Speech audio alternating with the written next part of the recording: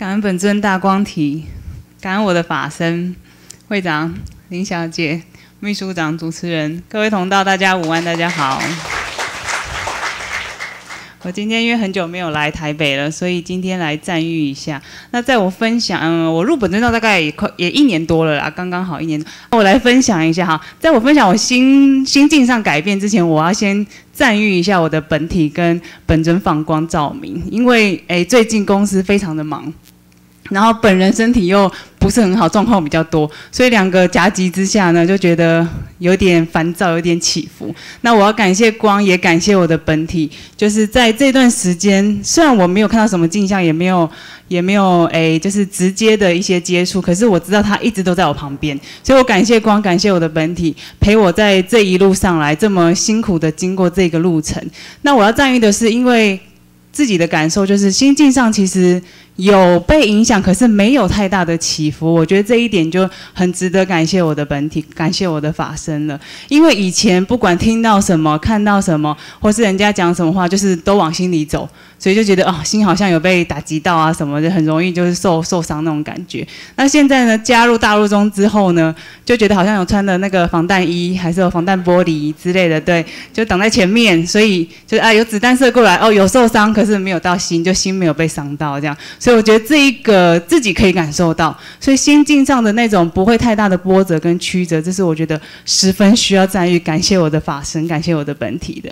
对，那主要先赞誉这一点。那第二个是要分享一下我这一年来心境上的转变，跟大家来稍微一样，就是分享这样子。那嗯，应该说我借用那个禅宗的那种。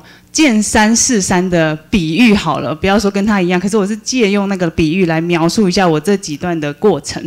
第一个见山是山，见山是山呢，就是我刚接触到本尊道一样，是从 YouTube 里面就是听 DVD，然后都觉得哇，本尊讲的真好，道理说的真好，佛法解释的真好。那最吸引我的是什么？十相显发嘛，天子天女嘛，又有天使嘛。我相信很多人都是被这个吸引到，就哎，我也想要有，我也怎样。所以那时候就觉得，嗯，我要追求的是这个。所以见。山是山，我的那个山是代表什么？我的第一个阶段是有一个第三人称的一个目标，在那边我想要去追求它，所以见山是山，就是我把它当成是第三人称，就是我要去追求的这个东西，所以我把它当成是一个物体、一个实体、一个一个目标要去追求。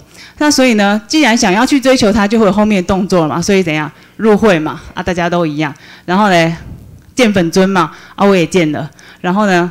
参加带动嘛，也参加了，所以过了两三个月之后呢，就想说，哎，奇怪了，会也入了，本尊也见了，光也射受了，然后十相带动也听了，啊，怎么没有实体？那时候就纠结在那个点上面嘛，就是那我就是想要实体嘛，该做的我都做，一二三我做完了，总会有一个结果嘛。那时候就一直盯在这个点，所以每次听同道他们都分享说，哇，加入加入大日中之后，整天法喜充满。然后我就问我本体说，啊，人家都法喜充满，我感觉好像欲求不满，就觉得不是很快乐。对，所以我初期的时候，因为执着在那个点，所以。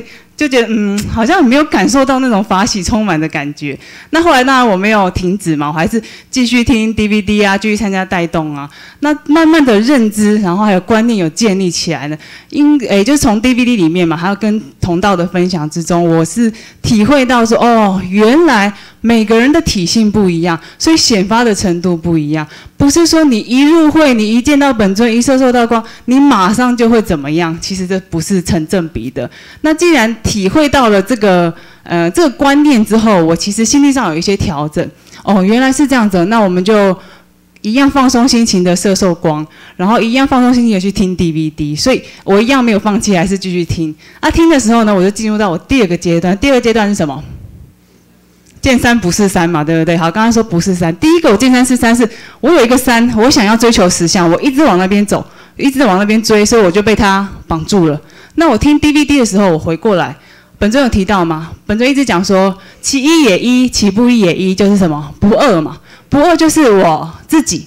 所以其实我要追求的那个山，它不是一个外在的那个山，而是回归我。自己，所以它其实不是山，所以我第二个阶段是见山不是山，它是我自己。那我调整我的沟通交往方式，我就用本尊 DVD 也提到的那种坐于且啊，起于且啊，睡于且啊，就是好像就是我在睡觉，就是本体在睡觉；我在刷牙，就是帮我的本体在刷牙；而我在喝水、喝茶、吃饭，就是我跟我的本体是一起同步的。所以透过这些坐于且、起于且、睡于且的这个动作呢，我慢慢去诶体会这种感受，然后把它记忆起来。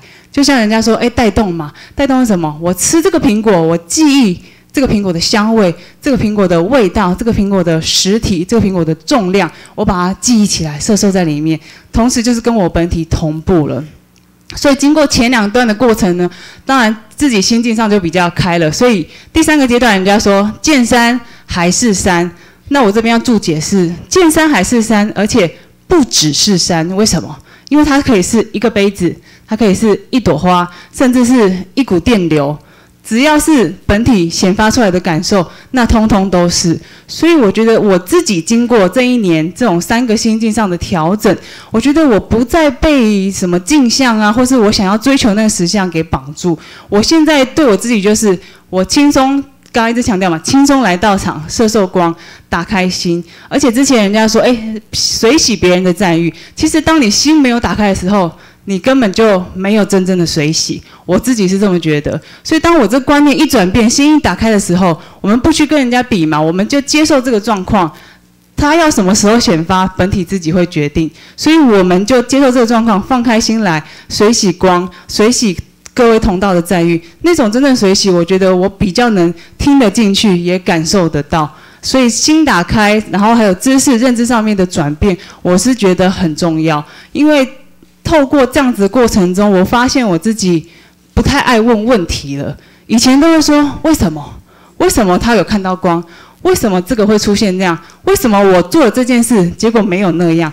会问了一大堆。那经过我这个观念调整之后，我突然间觉得我没有问题了耶。